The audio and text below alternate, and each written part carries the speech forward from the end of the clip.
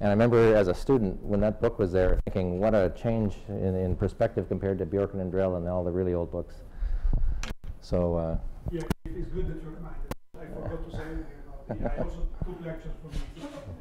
Yeah. It's a shame that it's not, uh, yeah. I did not say anything.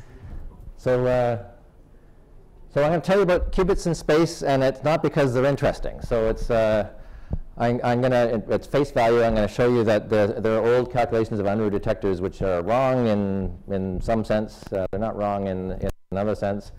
But I'm really going to uh, tell you this because uh, I have an agenda, and I, I, I want to show you a qubit calculation as a simplest possible example of an explicit calculation of how to resum late time effects in perturbation theory. Because uh, that's kind of a generic problem that we have in, in, in, in cosmology and in, in, in, many places in physics. But in, just in general, in gravitational physics, there's a, uh, as I'm going to argue in a second, there's a, um, an issue with how, you know, can you make reliable predictions given that all the calculation, all the inferences we're drawing are perturbative. Most of the things that we do when we talk about black holes or cosmology are based largely on non-interacting or very weakly interacting fields on a gravitational background. And when we make late time assumptions or statements about their late time behavior, inferences that are implicitly based on saying that the interactions that could have been there could have been perturbed in, and so that it was possible to make late time predictions uh, in perturbation theory. And there's a well-known problem with that in other areas of physics. So the way I'm going to tell you the story is there's going to be kind of a long motivation part, which will be kind of the background program that uh, I and many have been on uh, to try and quantify how this works in cosmology, and, and, and there's less work done, but also in black holes. And then I'm going to switch to the qubits in uh, de Sitter space, or it doesn't have to be de Sitter space, but uh, a qubit calculation. And the, the point of the qubit calculation will be that it, I can take you through this formalism. I want to take a formalism that is in, uh, comes from condensed matter physics and optics, and I want to argue for you that that's the right way to think about late-time physics and gravitational backgrounds. And I want to use this qubit calculation as just the simplest stripped-down example to see how it works in detail, and you can kind of see all the steps in a way which is extremely explicit, which is often not true in the field theory calculations. So in this meeting, you know, all, all talk start with Weinberg, and so uh, there's the young Weinberg. And of course, the we have is that effective field theories are described in gravity.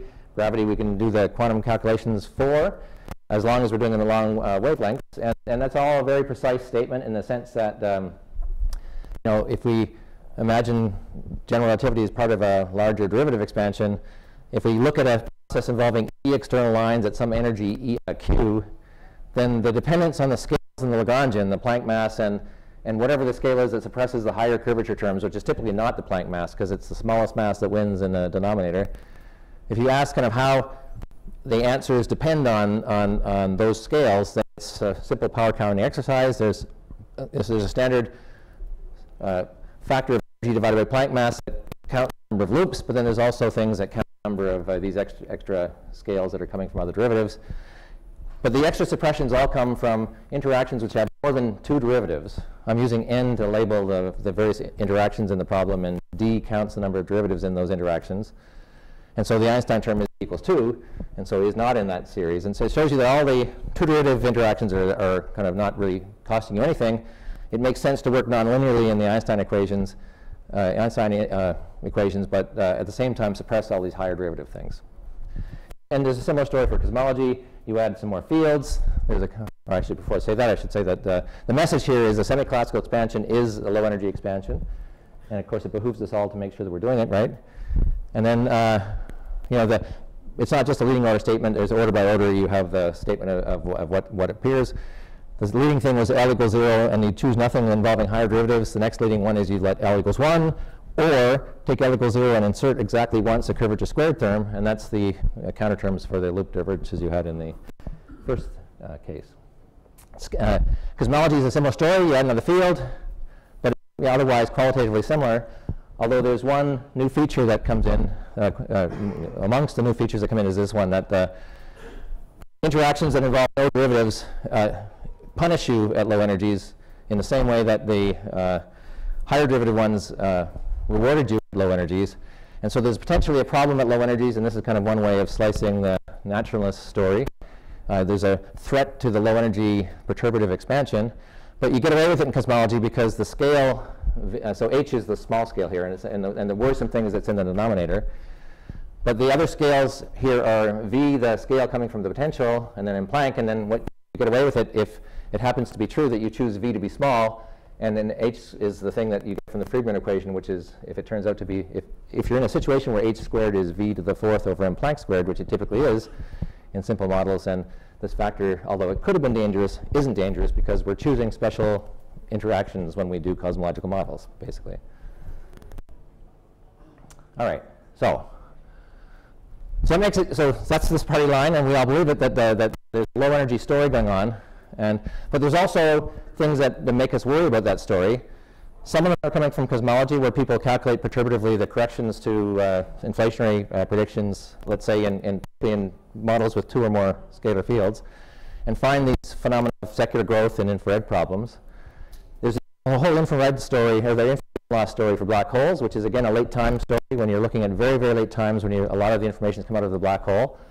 There's things that smell funny about the uh, predictions one makes with gravity at the quantum level at late times, and the question is, is, there, is, that, is that a sign of a breakdown uh, in the semi-classical approximations that we believe control things?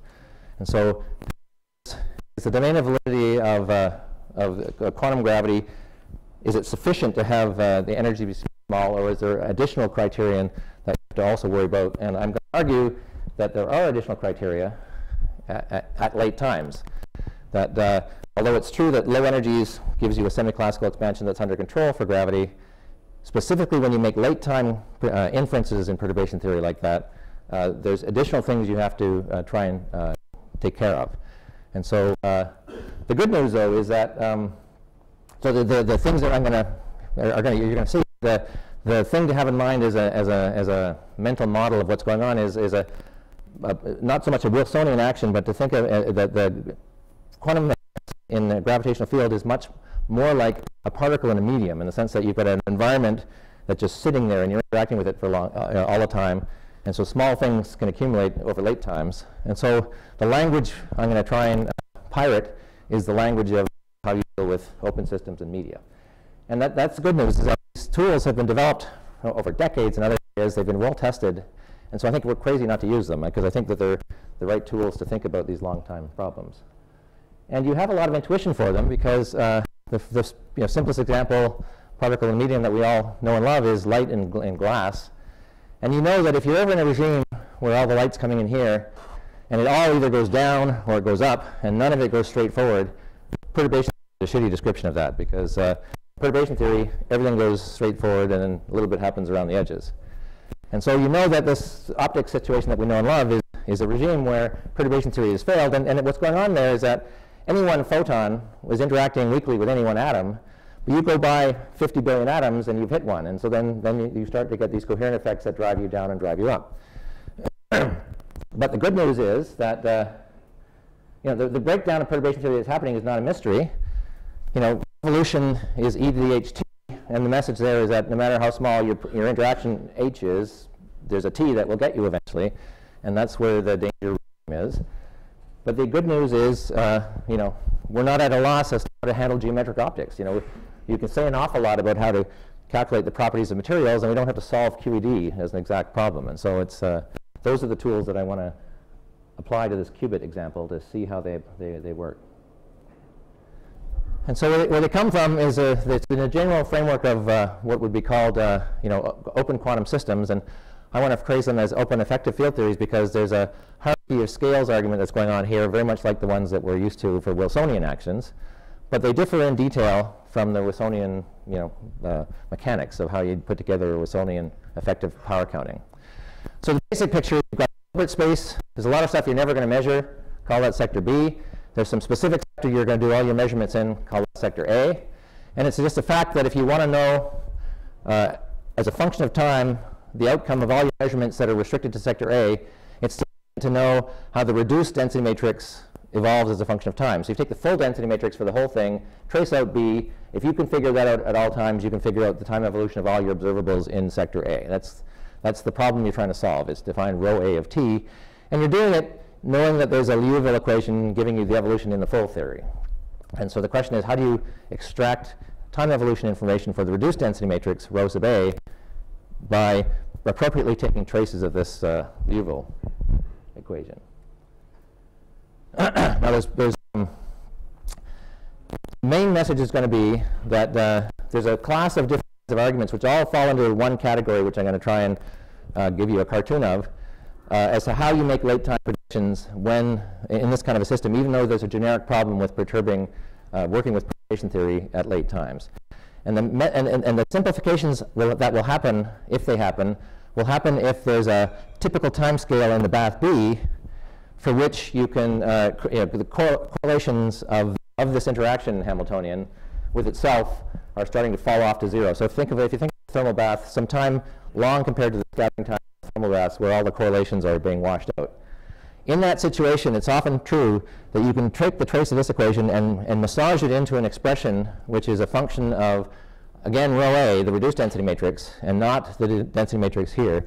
The density matrix here will appear through a bunch of correlation functions of this H, and it's the properties of those correlation functions which will define the time scale with, with, with, which, with respect to which you want to be looking at long times.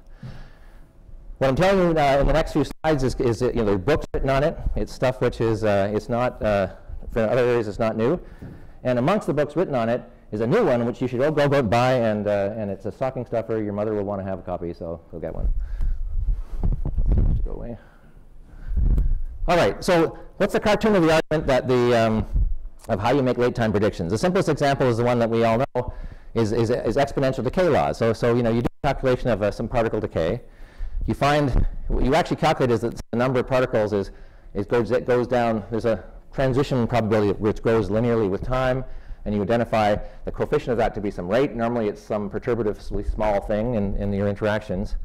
But what we believe is that that's giving us some sort of an exponential decay law, and we you know, measure that.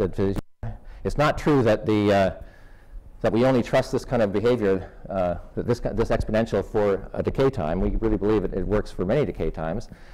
And the argument that, if you kind of formalize the argument that we used to uh, make that inference as to that, that this really was pointing to this, is, is the one that's the, basically the same argument that everybody's using in all these other examples, and it's a renormalization group argument in the end of the day. so the idea is we have other information in this case. In this case, we know that the decays are to one another. So there's, there's a general argument that says that the rate of change in the number of particles should be proportional to the number of particles, and this we believe is more robust than perturbation theory. And what we do is we use this calculation to give us this equation, and we read off the coefficient gamma in perturbation theory. But we're not relying on perturbation theory to justify this equation. But we're calculating this equation in this way in a series of overlapping time domains. And because this equation makes no reference to time, it just all you need to know is n and gamma, and that gamma doesn't depend on time, then if those two things are true, if you can figure out the rate of change of n in a way that's a function only of n and things that don't depend on time explicitly, the inference you make about that, uh, that rate in every one of these patches uh, applies to the union of all the patches. And so the solution to this equation you can trust for the whole union of this, of this set. And what you're doing essentially is you're, you're, you're doing a, getting all orders in g squared t. You're not getting higher powers of G that are not accompanied by T when you do that resummation. It's a renormalization group argument because it's the analog of, if you calculate the, the you know, the, the, the, the, change in a coupling constant and you find that alpha goes to alpha squared log mu, you derive something in perturbation theory, but then you differentiate that to get the rate of change of alpha, and you, when you integrate that renormalization group equation, trust its domain of validity more than the original calculation that gave it to you. So it's the same spirit of the argument that you normalize and renormalization. Yeah. However, that equation, which is true independent of G, requires in any way uh, smallness of some parameter, because if gamma is not small compared to the time of creation of the particle. So yes. if the lifetime of the neutron were of the order of the QCD time, then right. it would not make sense. Right, right, right. You, you can make this. You can fail. Right, right. There will be a separation of scales, and you'll see that uh, how that comes in in the story I'm going to tell you. But uh, so what you're saying is exactly right. And so the, the thing you're looking for, are two things. You're looking for a hierarchical argument that says, and that'll, that'll normally come in in the examples I'm going to show you, that'll be the thing that will go into deriving that kind of a formula in a way which is not some convolution over time. But then you want to have something which is not referring to time so that you can, you can kind of try to integrate things to get late times. All right. So in the kind of inflationary, I'm, I'm just here. I'm just going to have a couple slides, just kind of uh, pointing to, uh, you know, the literature which is uh, talking about this kind of tools applied to cosmology. I'm not going to talk in detail about this because I want to go to the qubit example where everything's much more explicit. But if you if you look at the, in cosmology, the way you, the, the, the cosmology has been uh, better explored than black holes. But in cosmology, because of all the symmetries, there's explicit calculations that have been done. And in cosmology, uh, if you take the, the, the, system A to be the super Hubble modes, the ones that are the long wavelength modes, and you take B to be the ones that are Hubble scale and smaller, uh, you do that because uh, in fields in, say, de Sitter space or close to de Sitter space, the typical correlation time is h, or often h. It's not always h, but it's, uh, that's the, the, the, the, thing you want to be looking at long time scales compared to. And if you look at the Liouville equation for the short wavelength modes in various approximations, they they get massaged into this form where there's a, there's a mean field kind of a piece, which is the leading contribution uh, uh, involving the interactions of the field with other, uh, maybe with itself or with, with the other modes that are being traced out. And there's often then a second order piece which has this Lindblad form, where L is something linear in the interaction potential, and there's, uh, then there, there can, can be corrections. But the point of this kind of a derivation is that once you get something in this form, it has the form, if you can make this H interaction and L not explicitly refer to uh, um, you know, time or to, to the variable that would, that, that uh, would be different in, in, all these different time patches, then you have a hope of integrating this equation into late times and seeing what happens. And, and a special case of this is the Starobinsky uh, stochastic story.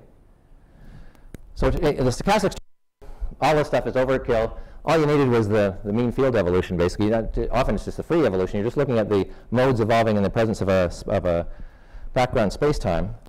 And then if you focus on the diagonal part of this density matrix, so you're looking at some probability distribution, and then you do the things that Leonardo was talking about, uh, where you, you neglect derivatives on the scales of the Hubble patch, then this whole story boils down to a, a Fokker-Planck equation for this probability distribution. And, and if you ask know, what's controlling that approximation physically, the basic story is that uh, it's not in general true. You know, you, if you have a free theory, you, if you, you, you got some sort of evolution for the field, and it's not in general true that a Schrodinger evolution is the same as a stochastic evolution, but it is true in the WKB limit.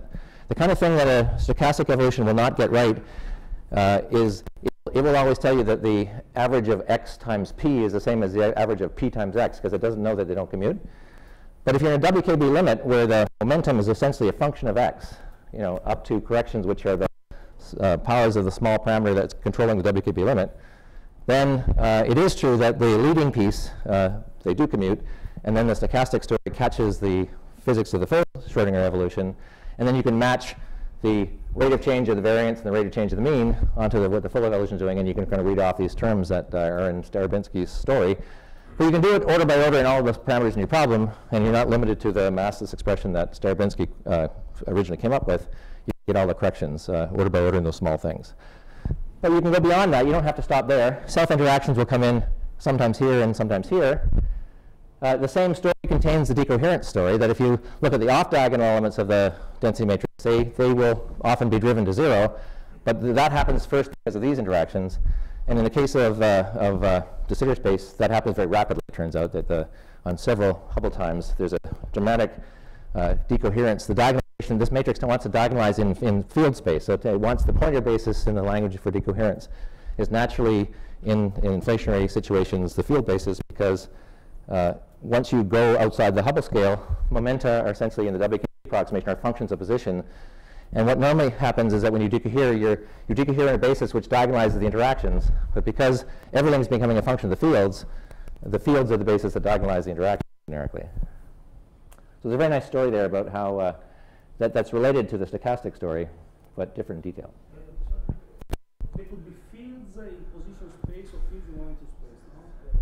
Yeah, but what happens is, is that when you're, because the states are being squeezed as you, as you go outside the Hubble scale, that the canonical momenta become effectively functions of the canonical position because it's very much like a WKB thing. And, you know, it's like the WKB story where if your wave function 5x is you know, e to the i s of some small parameter, you know, grad psi is becoming basically grad s, e to the i, you know, psi.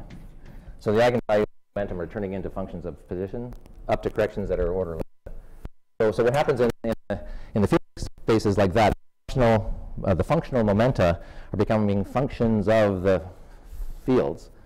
And then the uh, up to corrections that are being controlled by the, how much the state is being squeezed outside the Hubble scale. And then uh, that's, that's what makes the field basis the one that's the favorite one. That so all your, all your interactions are functions of either the momenta and the fields, but that becomes functions of the fields. And then, so you're always diagonalized in the field basis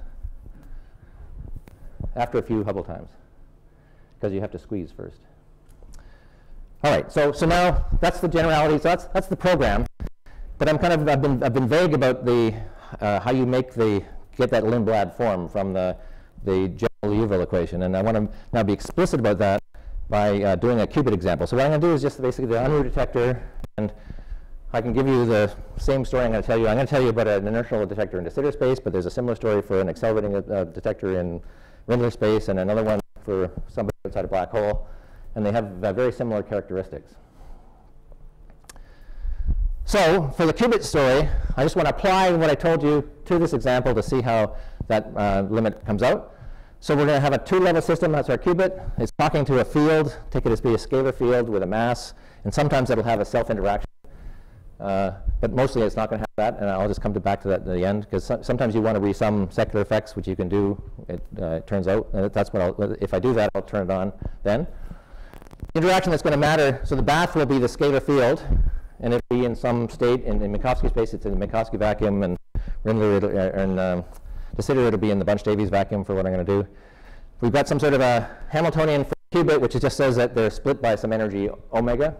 So that's a scale coming from the qubit sector. And then there's some interaction with the field, which I'll take to be linear, like the Unruh detector.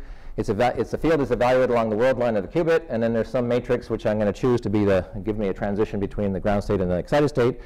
Some dimensionless coupling G that I'm going to do perturbation theory in. And so the things to follow, the, there's two kinds of interactions to follow, but the one's more important than the other one. This is the one I'm going to really do all the perturbation theory in. But this one's there, and I'll come back to that uh, possibly at the end if there's time to talk about how you sum uh, self-interaction effects. So now what we do is we, we just take the Liouville equation and integrate it. And so uh, you know, in perturbation theory in powers of G. And so here's, and we're in the interaction picture, so it means that these interaction Hamiltonians are now functions of, uh, of time. We take an initial density matrix to be the vacuum in the field side of things, and we take the qubit to be something and take it to the ground state later on. And then, you know, this is the first few terms, and there's nothing exciting there. So, if I do this for the, um, you know, this system I was talking about now, it becomes this. And so what's happened is that the, uh, these V's turned into, the, that was the thing that, that was uh, acting in the, on, on, the qubit side. Uh, so this M, remember, was the, was the Pauli 1 matrix that gave me transitions for the qubit, and it now depends on S because it depends on time because it's in the interaction picture. And all the correlation functions, when I do the trace, uh, I've done a trace here which I didn't tell you about. So if I trace this to get the reduced density matrix to see how it evolves, that, that trace involves the field theory part and uh, the qubit part, and uh, I'm only tracing over the field theory part, so I, uh, what I end up getting is a bunch of correlation functions of the interaction Hamiltonian, which in this case was linear in the field, uh, in the ground state. And so I've got these correlations for these Wightman functions, W, which is just uh, sampling the Wightman function at different points along the trajectory. And the curly rho, if I forget to tell you again, that's the reduced density matrix. I was calling it rho sub A before, but that'll be the same thing. All right, so there's a. So now, let me just remind you what in the 70s people did. This is Candelas and Sciama and uh, somebody else. I forgot now. Might have been Unruh. So if we do this and we take the initial state to be uh, the ground state, and we uh, just take the, the what I showed you before, and, and use the fact that the in what I showed you before, uh, if I'm not going to go to higher orders in perturbation theory, I have to use the initial state here. Things simplify for the uh, qubit. And so what that turns into is this, is that there's a, all those interaction things just boil down to that integral. And then the observation that, that, that Candelas and Sciama made was that this has that standard problem that uh, these integrals, the, the, the, the, S1 plus S2 integral diverges because nothing depends on it. So that's the linear in time part. So they say, well, let's take the rate of change of that, we would have done for an exponential depend, uh, uh, decay, and we'll calculate the coefficient of that time, we'll calculate the rate from that, and that gives us, so that differentiating this gives you this, and we'll let t get large, because, uh, you know, with the intu intuition of decays uh, in mind, I think, uh, you can imagine that uh, if things are growing linearly in t, what you're looking at is some, is some exponential rate, and then the rate is controlled by this integral, and that's the fam famous formula for the transition, the click rate of uh, Unruh detector. And you know that this can't quite be right, because it, you know, if you have a bunch of particles decaying, the, each decay doesn't uh, typically affect the other ones that haven't decayed yet, unless you look at things like the Zeno effect and with, with back reaction. For this qubit system, it can't work like that. It can't be that you have some linear uh, transition that's always linear because you're going to eventually start, unitary is going to force you to saturate the upper state and you're going to get driven down again. So this story has to be failing at late times. Uh, this is the right answer for the rate with which you start to leave the ground state in early times, but it's the thing which does not resum late times. And I'll show you uh, the late time story, and you'll see, see this is a subset of it uh, when we get further down the road.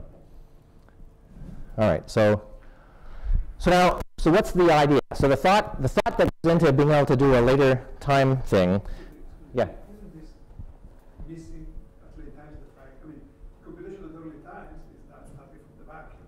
Yeah. At late times, you would be in a different state. Right, you're going to come down. Right, and that's exactly, so that's what Sciama and company are missing.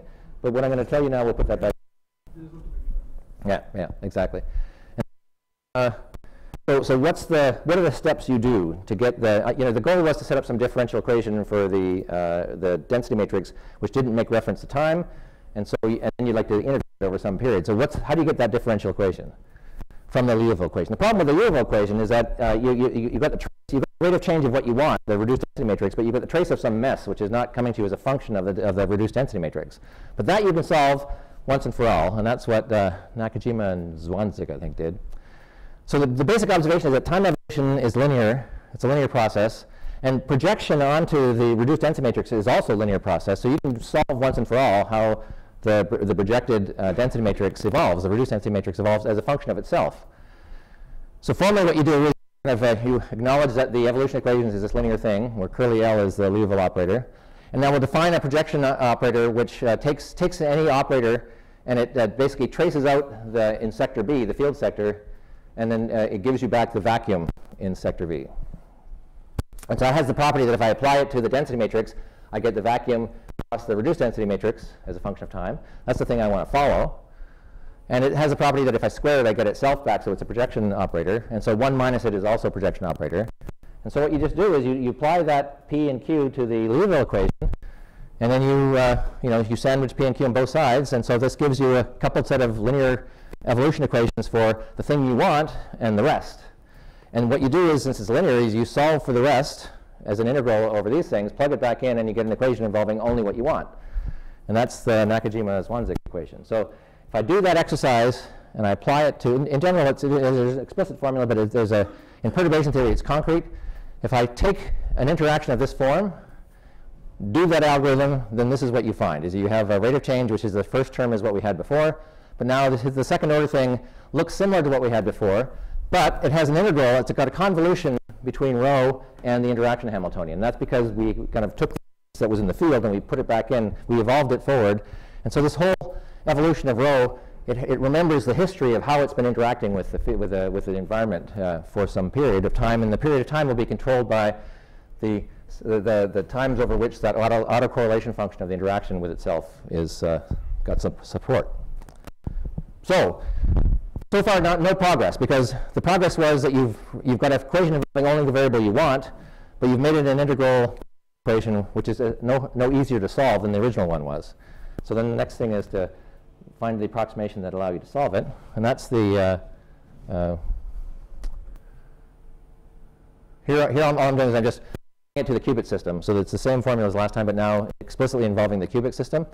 The reason I want to show you this is that uh, we now see that if we had been Candelas and Sciama, we would have had this, but we would not have had this, this, or this. And that's because um, the initial condition used, the, the, in this, in the, I'm using rho 1, 2. 1 and 2 are labeling the two states of the qubit. 2 is the vacuum. So I was originally taking the vacuum to, to pure vacuum state, so I'm taking rho 1, 2 at an initial time and rho 1, 1 initial time to be 0. And so if the logic was that the difference between rho and its initial value was order d, then the logic of uh, Candelas and uh, Sciama was that we have to throw these things away because these rhos are all are all going to higher order in G, and so and that's not that's not false. Okay, good. Um, but the, the way you build in the physics of the transitions going down and up and encapsulate late times is that you need to keep, keep these terms. This memory is actually telling you something, and it's not strictly perturbative, and that's because perturbation theory is wrong at late times, and this is the righter answer we're going to get to. And so the question will be what controls the approximation that we're going to do. Second thing notice is that uh, rho 1, 1 just evolves the function of rho 1, 1, and rho 1, 2 is of rho 1, 2. They don't talk to each other, so two time scales in the problem. They're evolving independently, uh, which is a separate thing. Come in later. So now, the thought is that if it's true that you have a hierarchy of scales, the effective field theory part will be now the hierarchy of scales. If it's true that this Wightman function has some support over some region of time, and you're only interested in late time, so you're only interested in how this thing evolves on scales that are slow compared to that, that's where the, that, that's where the, uh, the approximation uh, leads you to a useful equation for late times. And then what will happen basically is that if this is a sharply peaked function, you can Taylor expand this convolution integral around uh, argument equals tau. You can do in powers of s. And what you're doing is you're doing a series in the scale of time that you're interested in looking at divided by the scale that's in the Wightman function in the, in the environment you're interacting with. And so uh, if we go through that exercise, just do the Taylor expand expansion. Um, uh, just told you that. There's a separate thing I, I, uh, I there's a fact, so for aficionados, there's what's called the rotating phase, uh, or the uh, rotating wave approximation. You have to do two things. The, the, Taylor expansion I told you is part of the story, but it's also true that if it's true that there's a, the frequency I have for this qubit could, be, could have been large compared to the time frame which I'm calling long. And this still can work, even if that frequency is large, but I have to make sure that I coarse grain those fast frequency pieces in the interaction because that's spurious physics at late time. And so uh, there's, there's two things, strictly speaking, that need to be done to go from this equation to the next one I'm going to show you. But the main one, if you think of omega being small, it's really this main one that this, this Taylor expansion I'm going to do uh, gives you a simple system. And it gives you a simple system because it's Markovian. Now, because I could pull rho outside of the integral, the evolution at, to later times only cares about where you started, not how you get there. And so, uh, and once it's Markovian, things are much simpler. These coefficients R, delta, and C are, uh, R I gave you on the earlier slide. C and delta are just, uh, again, real parts of the Wightman function weighted by cosine and sine. Remember the R was, I think, just weighted by e to the i omega t, so omega tau, so they're, they're just, just simple things built from the Wightman function. Now, there's this, this is, the, the claim is that this is the equation that will describe late time behavior, the leading order in g squared t. Subdominant in, but it won't things like g to the fourth t. So this is telling you what the late time behavior is. So let's go through it. That's the Sciama result. And so if you thought that these things were all order G, you would have gotten that, uh, that result. But that's the thing that's going to fail at late times. Uh, at late times, it happens that uh, you might expect it's kind of a first order set of equations. You might think it's going to asymptote to some constant at late times. That is what happens. If you have the KMS condition for the uh, Wightman function, where there's, it's, there's, it's invariant under a shift of imaginary time, essentially, then you know that this thing you're going to is the thermal state. This temperature is given by 1 over this thing you're shifting by. All the examples I'm going to give you have that property, so we know what we're approaching at late times. The question is how fast are you approaching it? That's what these equations are telling you. This is telling you the rate with which the diagonal element is approaching this particular thermal balance. And then uh, this is telling you the rate with which the off-diagonal terms are zero, and they needn't be the same. So there's a, a sense there's a de decoherence time and a thermalization time that are separate. I put them in quotes because it's not really that true that one of them is thermalization, one's decoherence. They're kind of, there's two time scales that are both appearing in those two time scales. And uh, you're also getting normalization of your frequency, which is something you expected to get anyway. All right, so in de Sitter space, uh, just as a concrete example, so far what I've told you would have applied to any space-time But in space, this is what the Wightman function is. So you know it is a explicit, function of time. Nu here is the usual thing that involves the mass, and I, have included uh, potential non-minimal coupling to the scalar to the scalar field. In the conformal case, that boils down to this. And this is a useful way to look at it because it shows you that you have got a fall off which is exponential in, in, uh, in, in, time along the world line, and it's uh, the scale of that exponential is set by h. it satisfies this KMS condition, uh, and so we know that there's, in that previous story, there's going to be a thermal thing that's going to go to the, the temperature that you expect in a de Sitter bath. And so, but it's going to happen on time scale by construction long compared to h inverse, the Hubble time. Don't have to show it to me, I'm ready. I'm just basically done here. So if you're going to go through the exercise, this is what the time scales turn out to be. They depend parametrically on the various things in your problem but they're divided by g squared, and it's, so the smallness of g is what's making these things uh, self-consistent, that the time scales you're looking at are long compared to the Hubble time. In de Sitter space, there's the extra thing that if the mass of the scalar had been small, there's this critical slowing down phenomenon that happens, that that Wightman function gets a much broader uh, support because it's supported on a scale h over m than h inverse, but that's kind of a, the rest of the story goes through equally well. In the, in the late time limit, it's always Markovian, and that Markovian answer can now be integrated uh, which is what I've done when I quoted you time, those time scales for the exponential decay towards the thermal bath. So, what's the punchline? The punchline is that uh, I think it's true, and I think many people think it's true, that uh, you know, the, the, things like infrared and secular problems in cosmology and things like, uh, and potentially things like uh, late time in information loss in, in uh, black holes, is pointing to, they smell like there's some sort of a problem with our calculational tools uh, at late times. And I'm arguing that there is a problem with our calculational tools at late times. There's a generic problem at late times doing perturbation theory. Uh, and, and the only people that don't know that are particle physicists because we normally have wave packets, they interact, they turn off, and there's no late time. So, but if you have an environment that just sits there and you interact with it for a long time, it's generic that there's a problem. But there's also a lot of tools for doing the resummation of that late time behavior, which we should be using. And it doesn't mean that, that using them is going to solve the information loss problem. It just means that we'll have a more confidence in the reliability of our inference of the of the uh, of the uh, the inferences we're drawing at times, given that we're always making perturbative inferences. Uh, uh, work on the black hole cases in progress. The short version of where it's going, I think, is that all this stuff happens. There are secular growth things that are happening in black hole backgrounds, although there's fewer explicit calculations of that, but you can kind of construct them if you want to. Uh, but they, they seem to be resummable, and they basically, the resummation in the case of a scalar field of with a lambda phi the fourth interaction amounts to shifting its mass. And so what happens is that correlation functions, they do die with time, so things become decohered with time, as you might expect from the firewall kind of arguments, but they, it happens slower than you're used to. And the reason that perturbation theory fails is that, uh, is that the correlation functions all fall something like that, but the zeroth order unperturbed correlation functions all drop like a rock. And so if you're perturbing around this, it looks like you're getting, doing a worse and worse job. And so the secular growth that happens in these black hole examples are really just a sign that, that you're perturbing around the wrong thing, and resumming them uh, with the mass still gives you things that are falling in time, but with a parametrically different dependence on uh, things like the coupling. Thank you for your time.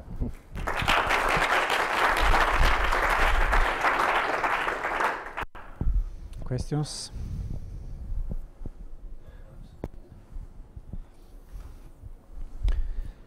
So, uh, do you have a, like a, a practical uh, results?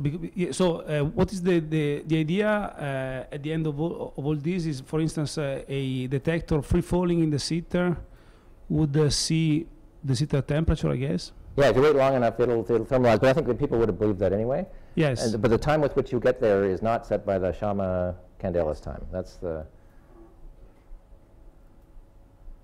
So for the, for the qubit, that, that would be the message. And, but, but, but and if, what I didn't talk about was that if, if that scalar had a self-interaction like a lambda phi to the fourth, the rate with which you thermalize changes again in a way which uh, depends on lambda, but in a non, it depends on the square root of lambda. So it's one of these, these it's like hard thermal loops. It's a case where there's a class of graphs that you had to sum up in order to uh, properly capture the late time limit, and they give you a non uh, analytic behavior in the coupling constant.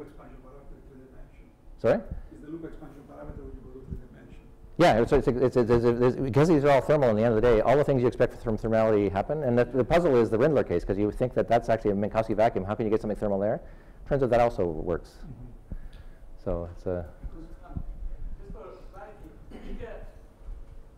I think uh, not, yeah, there were some words. Uh, yeah, but the lambda factor four, I don't think it's uh, thermal in the. That is a. The wave it's not a it's not the same as lambda factor four in the a finite temperature. The wave function is, a, is not a mass term what is emerging. It's not a summation of trivial diagrams because uh, the wave function, as we showed the other day, is e to the minus lambda phi to the fourth. This is de Sitter space you're talking about. Yeah, so yeah. What, yeah, what I was talking about I thought you were talking about. No, I was, I was, I was- I meant the black hole uh, Rindler case when I said thermal Okay, thing. that we didn't study, but the thermal in de Sitter is not.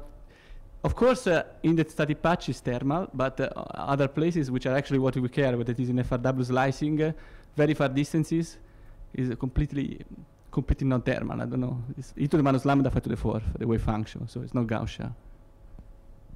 Uh, what's not Gaussian? The wave function is completely non-Gaussian. Yes, It's not just oh, a yes, mass. right, Uh, right, If if it was a mass, it would be, the wave function would be Gaussian right. with the mass of square root of lambda. It's not at all. I mean, it's a quartic function. It's No, that's true. But the statement about mass in that sitter space, there is a statement about mass in de Sitter space that if you're interested in summing up uh, all orders in in uh, m over h times a log of time, then that piece of the the the, the, the, n-point functions is being captured by a shift in the mass. That's the only statement. It's not the statement is not that the state you're in is really a Gaussian state.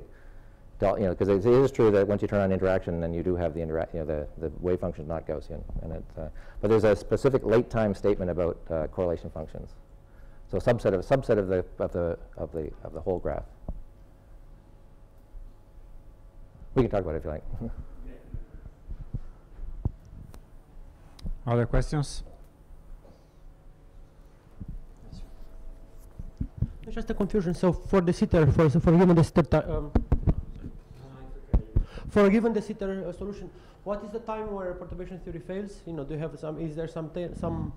Um, can you estimate? So, for example, for a black hole, we know that if you wait for the Boltzmann time, you know, there are all these recurrence times which happen for Yeah. the black hole, and you know, you can you can you can find there's a time when you, when you know that you know to preserve quantum unitarity, information has to come out. You, you- something has to be happening. Right. perturbation theory breaks down. We don't have the same exponential decay as you get at early times, but you know, there's something happening. There's like this. Uh, new um, so essentially whatever you um, so, so there's a time after the, after which this breakdown appeared uh, can you see this time for de Sitter you know is there some number you know some e Yes. to the power of the, de Sitter entropy or e to the power of de Sitter entropy squared or you know some It's not so universal as that. The, the general statement is that if you, it depends on the interactions you're, you're perturbing in. Because the generic thing is that if you, if you, you know, you're, you've got some interaction h t, and, and you're, it- the problems are happening when t is of the order of 1 over h. So if, you're, if you've got some parametrically small coupling, it's of order 1 over that. Now, if it's true that your interactions are gravitational strength, so they're coming in like, the, you know, the, in the Schwarzschild case, the mass of the hole divided by the Planck mass, then for a specific power of that, that turns into something like the page time. But it's, uh, but, you know, so it depends a little bit on what you, what you think the coupling strength is. Other questions? Okay. So you know there's like thi- this DSCFT uh, argument, you know, in de Sitter we get uh, there's a dual CFT. So in the dual CFT you can also see that you know there's something happening. You know, you put a CFT in a box, there's a central charge, and if you wait after a time which is awarded the central charge, then you know something happens. Yeah. But the same as in the. Can you see anything like that here? I mean, you know, can you argue that you know, for example, the theories you have fit into the SCFT or don't, or you know, where they have some. Uh, because you know, for example, if you take some theory which let, let's say has a DSCFT dual, then there's a time, there's a prediction from the dual CFT that you know after time which is the central charge times whatever size of whatever box you have, then you know you'll have something happening. Can you see some? I mean, Yeah, I think there probably is a connection, but I can't tell you what it is. I, we haven't done the, the, the anti-de Sitter case in detail. I suspect no, it, de Sitter, de Sitter. So Oh, there's sorry, a DS say- say it again, uh, there's a correspondence called de Sitter CFT by Strominger. Yes, and oh, okay. So No, there's I- a DS which uh, has actually has been established by for some Vasiliev gravities. So you know there are some theories where you can actually have- have a de Sitter conformal field theory correspondence. Right. And there, you know, for example, there's a CFT dual, and you know that when you have a CFT dual, um, and the CFT is in a box, there's something funny happening at time which is the central charge times times the, times the, the size, the size of, of the box. For Yeah. example, this is the, this is the time where you, ex- you expect non-thermal behavior to happen. So you know, here, for example, it would be it would be you know, it would be some time control. So I, I think there's a calculation to be so done. my answer is the same. I, I don't I don't know the answer.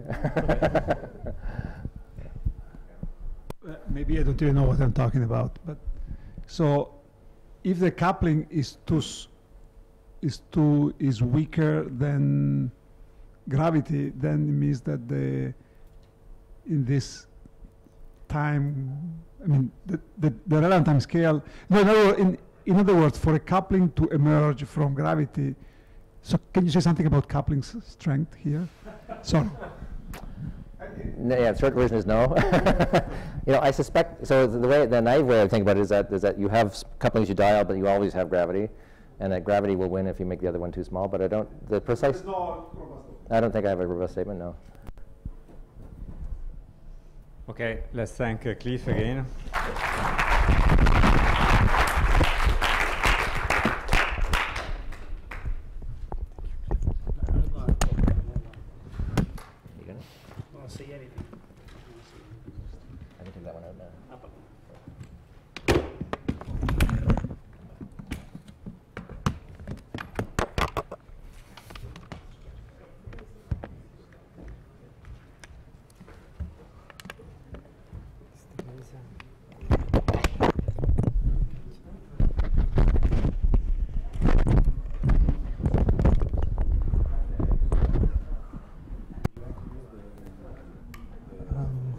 if it, not if it's, uh, I think I can just press the, here. Uh,